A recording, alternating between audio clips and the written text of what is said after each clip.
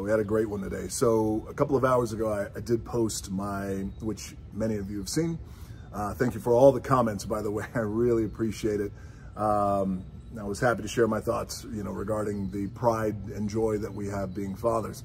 But, you know, I was working out and I thought, you know, there was something that I missed and I wanted to double back and tap back in with you guys. And the thing that I missed is to all the fathers out there like me, who on this day, uh, we don't have the we don't have the privilege anymore of wishing our own dads happy Father's Day.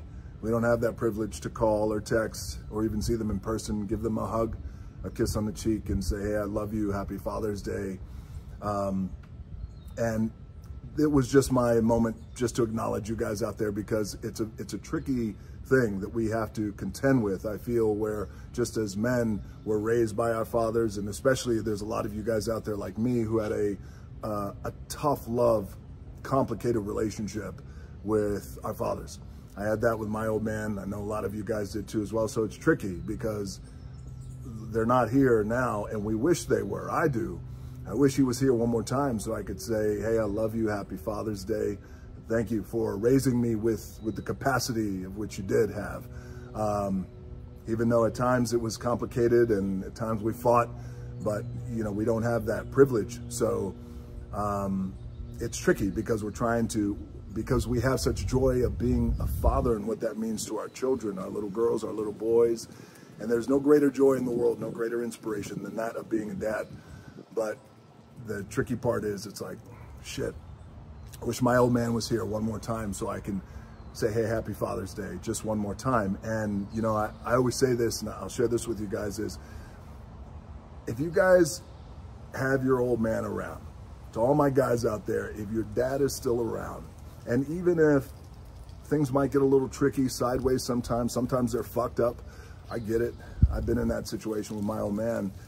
Might be complicated, if your old man is around, give him a call, try and reconcile that stuff, try and bring it back together.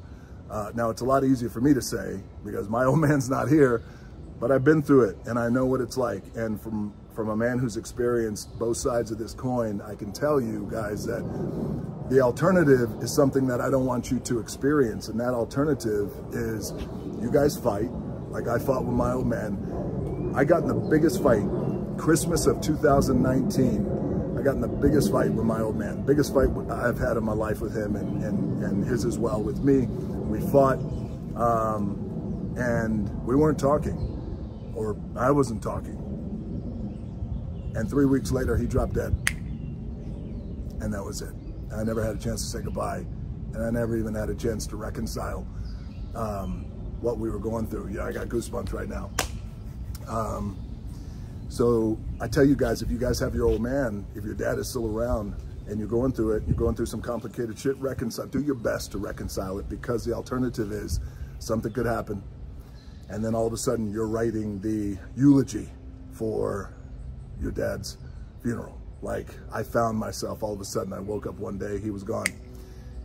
And I had to write that eulogy and deliver it. I don't want that for you guys. If you have an opportunity, if your old man is around, you do have a shot to reconcile it. So, all right, I'm going to try and uh, uptick this into something that that's feeling positive and optimistic uh, to all the guys out there who don't have a dad. Their dads are up in heaven like mine. This one is for those guys. All our dads are up there looking down on us now. Um, hopefully they're proud of what they see. All right, I love you guys and happy, happy Father's Day, soul man. And uh, you guys out there have a happy Father's Day.